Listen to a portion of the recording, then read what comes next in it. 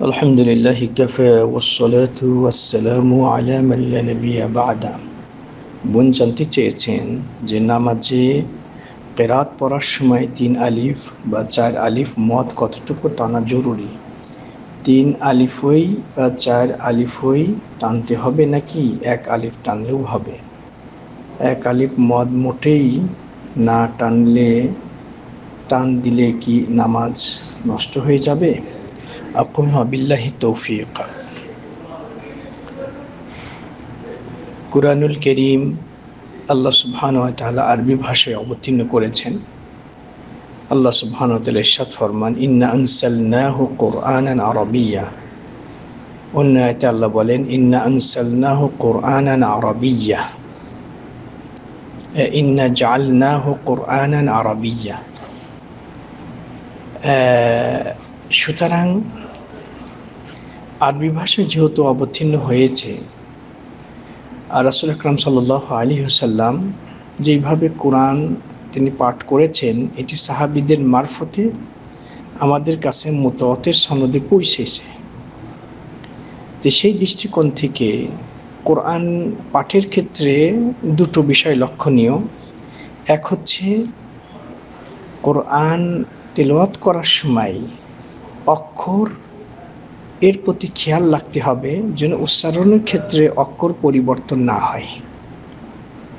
দুই হচ্ছে এই তাজবিদ, অর্থাৎ গুন্না, মদ, এদিকে খেয়াল রাখা। এই দুটোর মধ্যে যদি অর্থের মানে অক্ষরের যদি কম বেশি হয়ে যায় বা অক্ষর যদি বাদ পড়ে যায়, সেক্ষেত্রে কিন্তু কোরআনের কখনো কখনো আয়াতের অর্থ অর্থ বিকৃত হয়ে যেতে পারে। সেদিকে খেয়াল রাখতে হবে। এটি হচ্ছে সমস্যা। এটি জায়জ নাই।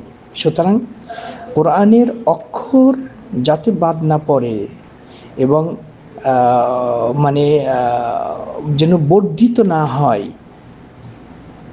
এদিকে খেয়াল রাখা, এটি হচ্ছে ওয়াজিব, জরুরি। দ্বিতীয়ত তাজবিদ সহকারে কোরআন তেলত করা, এটি হচ্ছে ওয়াজিবের পর্যায়ে পড়ে না, এটি হচ্ছে মুস্তাহাব। সুতরাং যেখানে চার আলিফ বা ছয় আলিফ মদ টেনে পড়ার কথা এসেছে। সেখানে যদি আপনি পুরাপুরি নাও টেনে পড়েন, সেক্ষেত্রে আপনি নামাজের কোনো ক্ষতি হবে না এবং এই ক্ষেত্রে আপনি গুণাও গুণাগারও হবেন না। কারণ এই টেনে পড়াটা অর্থাৎ এই তজবিদের হক আদায় করি পড়াটা, এটি হচ্ছে মুস্তাহাব, সুন্দর। কিন্তু কিছু আছে যেমন মধ্যে লাজেম। অবশ্যই আপনাকে টেনে পড়তে হবে। না টানলে এটি অর্থের পার্থক্য হয়ে যায়।